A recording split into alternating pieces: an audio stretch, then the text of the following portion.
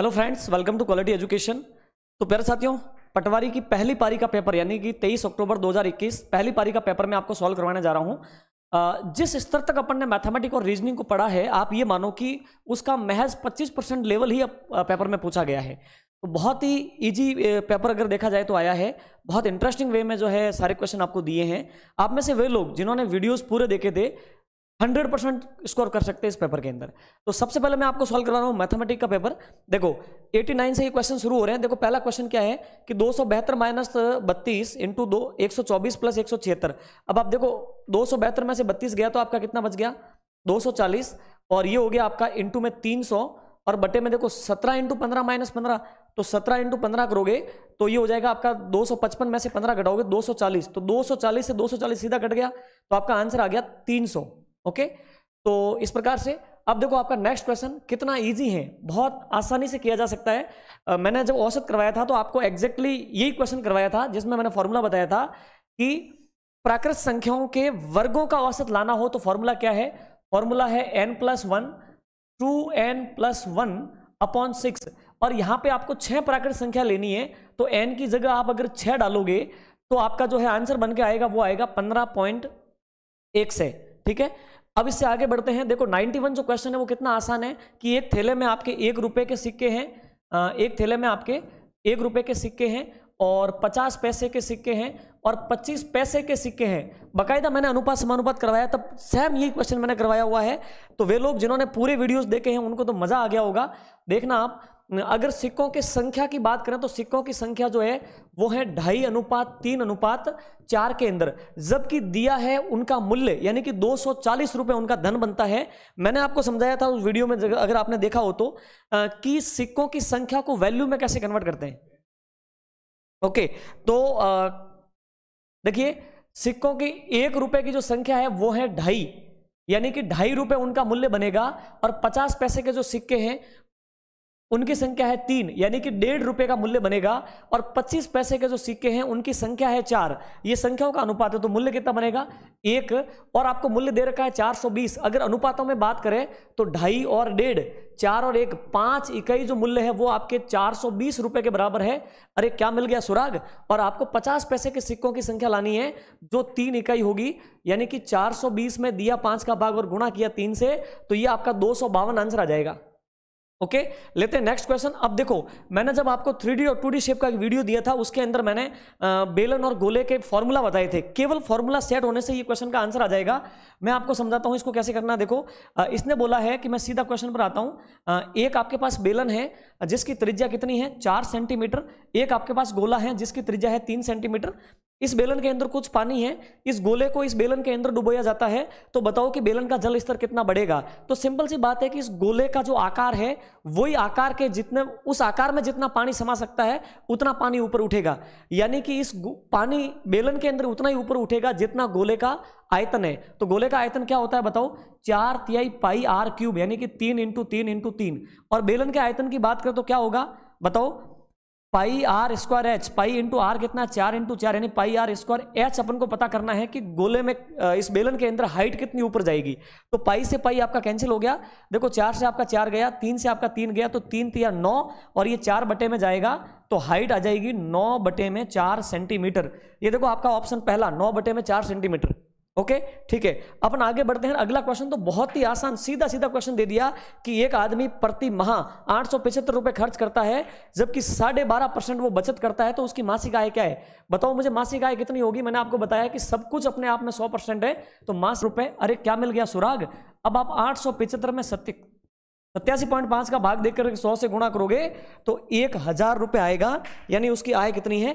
एक हज़ार। तो कितना आसान है? ये मानो कि मतलब तीस सेकंड के अंदर आपका एक क्वेश्चन हो रहा है। और सारे पैटर्न मैंने आपको समझाया है।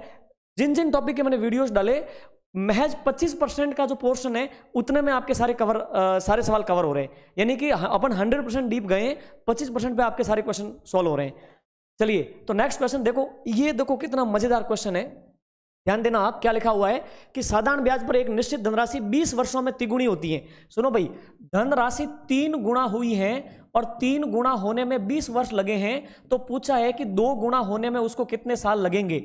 अब एक चीज़ बताओ, मैंने आपको साधारण ब्याज करवाया था तो बकायदा समझाया था कि तीन गुणा धन होने का मतलब है एक रुपया तो इसके अंदर मूलधन है और दो रुपया इसके अंदर ब्याज है, यानी कि दो रुपया ब्याज बनने में बीस साल लगते हैं। कितने? बीस साल। तो दो गुणा धन होने का मतलब है मूलधन एक और साधारण ब्याज एक। मूलधन तो गुणा नहीं होता, केवल और केवल साधारण ब्याज के अंदर ब्याज ही तो बढ़ता है। तो अपन कहेंगे कि भाई दो रुपया ब्याज होने में बीस साल लगते हैं तो बीस में दो का भाग दिया इंटू कर दिया एक से, यानी कि एक रुपया ब्याज होने में दस वर्ष का समय लगेगा। तो इसका आपका आंसर है दस वर्ष। बड़ी आसान बात है।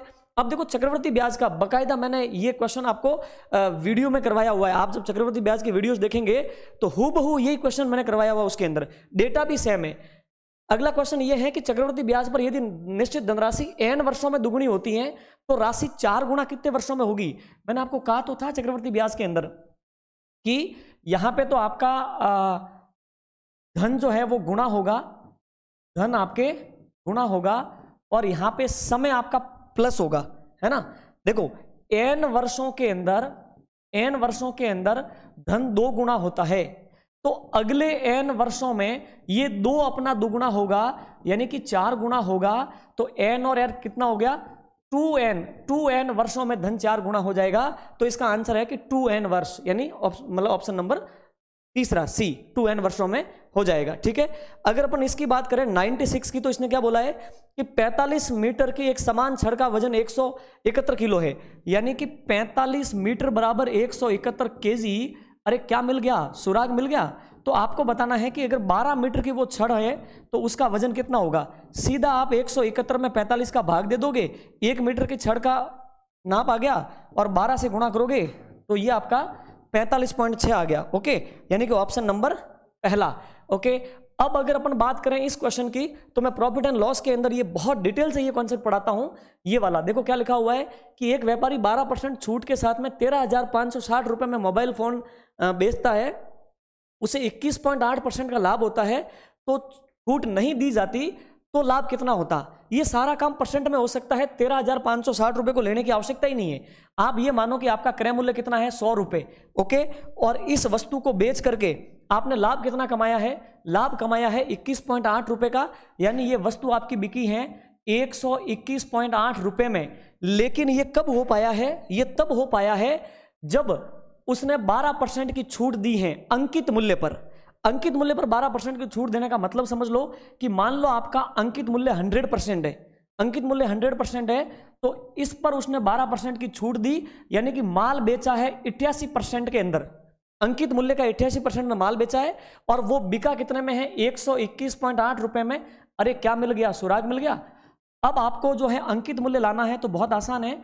121.8 में सीधा इक्यासी का भाग दे दो और गुणा कर दो 100 से तो ये एक चार परसेंट रुपये आ जाएगा, है ना? यानी कि आप उस वस्तु का अंकित मूल्य एक रुपये था, क्रय मूल्य सौ रुपये है, अंकित मूल्य एक रुपये है, पॉइंट चार पैसे। तो एक बात बताओ मुझे, अगर अंकित मूल्य पर वस्तु बेचे तो कितना एक्स्ट्रा कमाएगा? अड़तीस पॉइंट चार, यानी कि उसको लाभ होगा अड़तीस पॉइंट चार का, अगर वो अंकित मूल्य पर वस्तु बेचे तो ठीक है? आगे अपन बढ़ते हैं और नेक्स्ट क्वेश्चन देखो कितना आसान है। बाकायदा मैं जो प्रॉफिट एंड लॉस के अंदर ये करवाता हूँ कि दस वस्तुओं की लागत चार वस्तुओं के विक्रय मूल्य के बराबर है। यानी कि दस का जो क्रय मूल्य है, सुनो, दस वस्तुओं का जो क्रय मूल्य है, वो सात वस्तुओं के विक्रय मूल्य के बराबर है। तो इसको करने का बिल्कुल शॉर्ट तरीका मैंने आपको समझा रखा है कि क्रय वस्तु माइनस विक्रय वस्तु बटा विक्रय वस्तु इंटू सौ दस में से सात गया तो तीन सौ तीन सौ बटे में सात ये देखो, तीन इंटू सौ, तीन सौ बटे में सात तो ये आपका आ जाएगा बयालीस सही, छह बटा सात प्रतिशत, ओके, ठीक है। और नेक्स्ट अपन इस क्वेश्चन की बात करते हैं।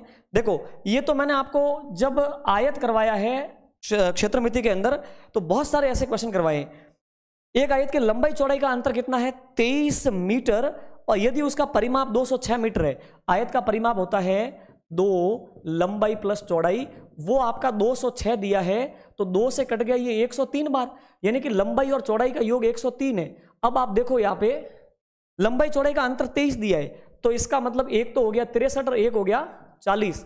लंबाई चौड़ाई का योग, देखो लंबाई चौड़ाई का योग 103 आ रहा है ना तो लंबाई आपकी तिरसठ हो गई, चौड़ाई आपकी 40 होगी क्योंकि लंबाई चौड़ाई का अंतर इसने कितना दिया है?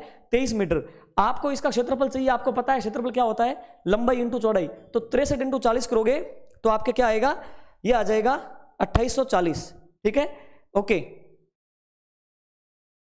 अट्ठाईस चालीस नहीं आएगा, ये आएगा आपका पच्चीस सौ बीस। आप गुणा करके देख लो, तिरसठ इंटू चालीस तो छह सौ चौबीस और चार तिया बारह, ठीक है, ये आएगा पच्चीस सौ बीस। ओके, अब अपन आगे बढ़ते हैं, लेते हैं नेक्स्ट क्वेश्चन आपका आंसर है पच्चीस सौ बीस। ओके नेक्स्ट क्वेश्चन देखना।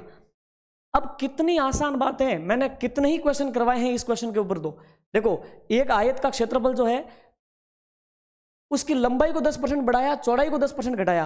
अरे भाई क्षेत्रफल क्या होता है? लंबाई इंटू चौड़ाई इसको 10 परसेंट बढ़ाया यानी 110 इसको 10 परसेंट घटाया यानी कि 90 दो राशि गुणा हो रही है बटे में एक बार सौ नम नम निन्या ग्यारह नम निन्यानवे यानी सौ से कितना कम है एक तो एक परसेंट की कमी हो गई ऑप्शन नंबर डी ओके? ठीक है अब मैं आगे बढ़ता हूँ देखो नेक्स्ट क्वेश्चन क्या लिखा हुआ है? हम्म, ये रहा। केले की कीमत 20 परसेंट घटाई गई, दस रुपए में पाँच केले अधिक मिलते हैं तो केले का प्रारंभिक मूल्य क्या था? सीधा सा मतलब है कि दस रुपए में पाँच केले एक्स्ट्रा मिलते हैं। बीस परसेंट कीमत गिर गई इसलिए। तो अपन कहेंगे कि भाई दस रुपए का बीस परसेंट कितना होता है? दो रुपए। यानी कि पहले दो रुपए में जितने केले आते थे, अब उन दो रुपए की बचत हो गई। समझना? दस रुपए में बीस परसेंट की गिरावट का मतलब दो रुपए की बचत बन रही है। और दो रुपए के बदले में वो बोल रहा है कि पाँच केले हम एक्स्ट्रा देंगे। तो एक केले का वर्तमान मूल्य क्या हो गया? दो रुपए, यानी कि दो सौ पैसे। दो सौ पैसे में पाँच का भाग दे दो। चालीस पैसे का अभी एक केला है। एक केला अभी चालीस पैसे का है। आपको पुराना मूल्य लाना है। तो पुराना मूल्य 100 परसेंट मान लो। नया मूल्य 20 परसेंट गिरने के कारण 80 परसेंट हो गया। और 80 परसेंट मूल्य आज 40 पैसे के बराबर है। अरे क्या मिल गया? सुराग मिल गया? और आपको पुराना मूल्य लाना है, यानी कि 100 परसेंट का वैल्यू लाना है तो 40 पैसे 80 के बराबर है तो 40 में 80 का भाग दे दो। एक परसेंट का वैल्यू आया और गुणा कर दिया 100 से, ये आपका 50 पैसे, यानी कि केले का पुराना मूल्य कितना था? 50 पैसे का था। ठीक है तो बहुत आसान है। टाइम एंड वर्क मैंने करवाया, तब बहुत डिटेल करवाया है, जबकि क्वेश्चन तो देखो आप कितना आसान पूछा गया है। ध्यान देना दस पुरुष किसी काम को दस दिन में पूरा करते हैं और दस दिन में पूरा करने के लिए बारह महिलाओं की आवश्यकता पड़ती है। काम को पूरा करने के लिए पंद्रह पुरुष और छह महिलाएँ मिल जाती है। काम कितने दिन में होगा? अरे भाई दस पुरुष उसको दस दिन में करते हैं ठीक है? और 12 महिलाएँ भी उसको 10 दिन में करती हैं तो ये तो आपका टाइम है ये वर्क और ये कैपेसिटी मैंने इसी पैटर्न से करवाया था आपको। आ, समय का एल्सियम लिया 10 10 का भाग 10 में एक बार 10 का भाग 10 में एक बार 10 पुरुष की ताकत एक है तो एक पुरुष की ताकत एक बटा दस और आगे आपके 15 पुरुष काम पे लग रहे हैं देखो। तो एक पुरुष की ताकत, देखो, दस पुरुष की ताकत एक है तो एक पुरुष की ताकत एक बटा दस, पंद्रह लोग काम में लग रहे हैं, इसका मतलब ये ताकत हो गई डेढ़ की। और 12 महिलाओं की ताकत कितनी है? एक तो एक महिला की ताकत एक बटा बारह, और आपके आगे छह महिलाएँ काम में लगेगी तो छह से गुणा कर दो 0.5 यानी कि 15 पुरुषों की ताकत डेढ़ और छह महिलाओं की ताकत आधी, यानी कि टोटल ताकत आ गई दो। किसकी? 15 तो आपके पुरुष और प्लस में छह आपकी महिलाएँ। ओके, दो की ताकत है। अब दो की ताकत से आपको दस काम करवाना है, ये मिलके कितने समय में काम करेंगे? तो दस काम करवाना है, दो की ताकत से आपके कितने दिन लगेंगे? पाँच दिन, बड़ा सिंपल है। ऑप्शन बी, पाँच दिन लगेंगे, ठीक है? अब मैं बताता हूँ नेक्स्ट चलता हूँ। चलिए नेक्स्ट क्वेश्चन क्या देखो क्या लिखा हुआ है कि पाँच के सम संख्याओं का औसत A B C D E वो बावन है तो बी व ई का गुणनफल। अरे भाई, इतने क्वेश्चन करवाए मैं इस मसले पे औसत वाले टॉपिक के अंदर जब आप देखोगे तो आपको पता चलेगा हु बहू ऐसे तो खूब क्वेश्चन करवाए पाँच क्रमांक संख्याएँ ए बी सी डी और ई e, उनका औसत मैंने आपको समझाया था ना कि क्रमागत संख्याओं में औसत हमेशा बीस की संख्या होता है। तो औसत बावन है इसका मतलब ये सी आपका कितना है? बावन। और ये क्रमागत सम संख्या है तो अगर मैं आगे की बात करूँ तो ये हो गया चौपन और ये हो गया छप्पन। और अगर इसकी बात करो तो ये हो गया पचास और ये क्या, कितना हो गया? अड़तालीस। जबकि अपन को पूछा क्या है? बी और ई का गुणनफल। ये तो बी और ये ई का गुणनफल। यानी कि पचास इंटू छप्पन आपसे पूछा है, ठीक है? तो ये आपका कितना हो जाएगा? अट्ठाईस ऑप्शन नंबर डी। आप एक बार कैलकुलेशन चेक कर लेना, ये अट्ठाईस होगा, है ना? पच्चीस और तीन सौ, अट्ठाईस हो गया, ठीक है? तो ये आपका आ गया ऑप्शन नंबर डी। अगर मैं इस क्वेश्चन की बात करूँ तो ये क्वेश्चन ज़रूर ढंग का है, लेकिन मैं two D, three D shape जब करवाता हूँ मतलब मेरे जो क्लास नोट्स हैं, जो क्लास में मैं पढ़ाता हूँ, ये सवाल मैंने दसों बार करवाया है, खास यही क्वेश्चन और ये उठ के एग्ज़ाम में आ गया आप सोचो। ठीक है? क्या लिखा हुआ है कि यदि एबीसी आयत के हाँ एबीसी आयाम के घनाभ का आयतन वी और पृष्ठ क्षेत्रफल एस है तो एक बटा वी किसके बराबर होगा? थोड़ा सा इसमें उन्होंने क्या किया है कि जो आपका एल्जेब्रिक टच दिया है इसको, है ना? थोड़ा एल्जेब्रिक टेस्ट दिया है इसको मैं आपको समझाता हूँ। एक घनाभ की तीनों भुजाएँ ए बी और सी हैं, उसका आयतन क्या है? वी तो आयतन क्या होता है? लंबाई इंटू चौड़ाई इंटू ऊंचाई, और वो दे दिया आपको v. और पृष्ठ क्षेत्रफल आपको कितना दिया है? S. पृष्ठ क्षेत्रफल क्या होता है? दो, लंबाई इंटू चौड़ाई ओके प्लस चौड़ाई इंटू ऊंचाई प्लस ऊंचाई इंटू लंबाई और वो आपको एस दिया है। अब आपको लाना क्या है? देखो एक बटा वी लाना है। तो ऐसा अपन क्या करें कि ये वी बटे में आ जाए। तो अपन एक काम करते हैं अपन ये एस एस के बटे में लगा देते हैं वी एस के बटे में वी लगाते हैं देखना कैसे आएगा। आ, तो एस का वैल्यू कितना है? Two A B plus B C plus C A और वी का वैल्यू कितना है? बटे में ए बी और सी ओके? अगर मैं इस दो को यहाँ से काटूं तो ध्यान देना, दो यहाँ आएगा कि नहीं आएगा? बिल्कुल आएगा। अब मैं यहाँ पर लिख देता हूँ एस बटा टू वी अब कहने का मतलब ये तीनों अमाउंट के बटे में कौन लगेगा? एबीसी तो यानी कि ए बी के बटे में जब ए बी सी लगेगा तो ए बी से ए बी कैंसिल हो जाएगा। एक बटा सी हो गया। तो इसी प्रकार से एक बटा सी प्लस बी सी के बटे में ए बी सी लगेगा तो बी सी कटेगा ए बचेगा। एक बटा ए प्लस सी ए के बटे में ए बी सी लगेगा तो ए और सी कट जाएगा, एक बटा बी बच जाएगा, है ना? अब एक बात बताओ, अपन को एक बटा वी चाहिए, बोलो क्या चाहिए? एक बटा वी। तो क्यों ना मैं एस और दो को उधर भेज दूँ, है ना? तो एस और दो को उधर भेजूँगा तो एस की जगह तो क्या बचेगा? एक, और बटे में कौन है? वी। एस और दो को मैं उधर भेजू तो दो तो जाएगा आपके ऊपर, ओके? और एस जाएगा बटे में, है ना? और फिर ब्रैकेट के अंदर ये मसला रह जाएगा। और ये मसला कौन है? एक बटा ए प्लस एक बटा बी प्लस एक बटा सी। अब देखो, एक बटा वी बराबर दो बटा एस ये आपका ऑप्शन नंबर सी तो देखो, कहा? मतलब ये मानो कि तीस तीस सेकंड में क्वेश्चन सॉल्व हो रहे हैं। एक्चुअल में हम क्या है कि वीडियो कोर्स पटवारी से पहले नहीं लेके आ पाए। इसका हम मुझे बहुत खेद है। अगर हम लेके आते ना तो मैथ्स एंड रीजनिंग में आपका स्कोर 100 परसेंट जाता है, इसकी गारंटी है। और अभी भी जिन लोगों ने सारे वीडियोस देखे हैं जो मैंने फ्री में वीडियोस डाले थे, बहुत सारे टॉपिक मैंने फ्री में डाले थे, वो जिन्होंने देखे हैं रीजनिंग के कुछ टॉपिक जैसे इनपुट आउटपुट को छोड़ दो आप, अगर उस टॉपिक को छोड़ दे तो मैथ्स एंड रीजनिंग के सारे सवाल वो सॉल्व किए होंगे। वो आप कमेंट में भी दिख जाएँगे, काफ़ी लोग जो, जिन्होंने पूरा मैथमेटिक पढ़ा है, उनका अनुभव ये रहा होगा। ठीक है मेरे साथियों? तो ये था अपना मैथमेटिक चुटकियों में सवाल होने वाला है। इतना ईजी है। अपन ने जितनी गहराई में पढ़ा है, उसका तो मैच पच्चीस परसेंट भी नहीं पूछा है। ओके अब अपन पढ़ने वाले हैं। रीजनिंग का पेपर सॉल्व करने वाले हैं, ठीक है? अभी पढ़ते हैं अपन रीजनिंग वाला पेपर